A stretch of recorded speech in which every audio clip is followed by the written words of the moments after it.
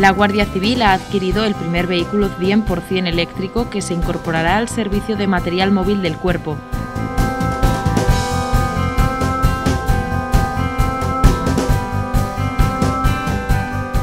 El coche dispone de cinco plazas y una autonomía de 199 kilómetros en cada recarga completa.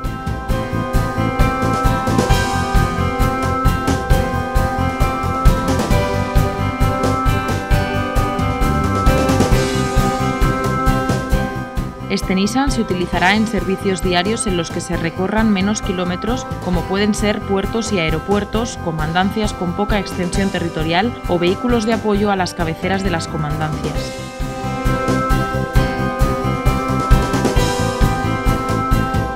La Guardia Civil quiere reforzar así su compromiso con la conservación del medio ambiente y llevar a cabo, entre otras actuaciones, las dirigidas a reducir en lo posible las emisiones de gases de los vehículos que conforman su flota.